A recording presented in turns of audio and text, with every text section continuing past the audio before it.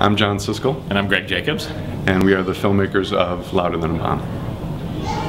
Louder Than a Bomb follows four high school poetry slam teams uh, as they prepare for and compete in the world's largest youth slam, which is uh, an event that happens every year in Chicago called Louder Than a Bomb. Want to describe Adam. Yeah, Adam um, goes to Northside College Prep. Um, he's kind of uh, hippie-ish. Uh, he's got long hair. He's just an incredible kid. And you know, I think in the film, you know, we just watched it with uh, our first audience, and you know, I think the tendency, you know, you see him riding his bike. He's a little nerdy. Northside is like one of the elite schools in the city, and um, so the tendency may be to laugh at him a bit. But as soon as he gets on that stage, he just grabs the audience by the throat, and he's just so amazing. He's, he's just a really incredible kid. Very sweet, loving. He's sort of the most exotic character in the film because he is totally well adjusted Right.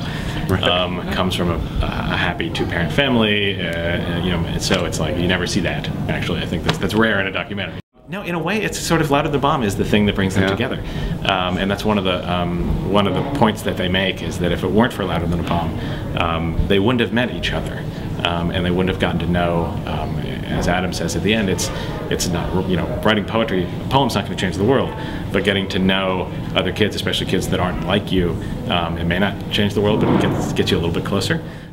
This is the world premiere of our film Louder Than a Bomb, and um, our first audience, um, two groups of high school students from the Cleveland area, were incredible. It was just an awesome experience. So, um, yeah, it's great.